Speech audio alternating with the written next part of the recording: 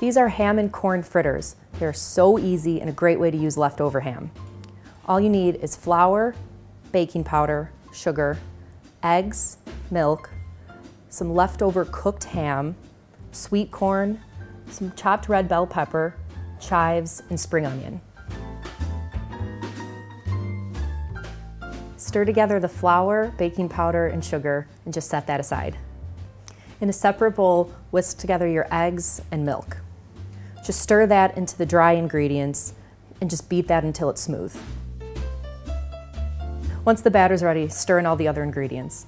Start with your cooked chopped ham and then your sweet corn. Stir in your red bell pepper, then just stir in your spring onion and your chive and give it a good mix and then you're ready to fry it.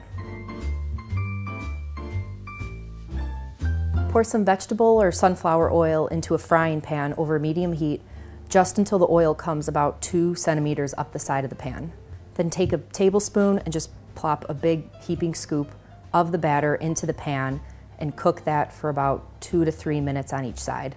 And just take a spatula and be very careful and just flip that over after about two or three minutes.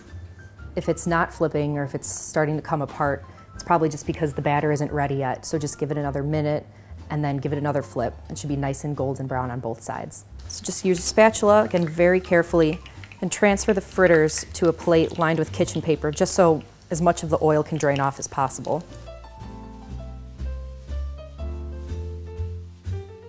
So now they've drained a bit, you can just plate them up. Perfect with a nice light salad.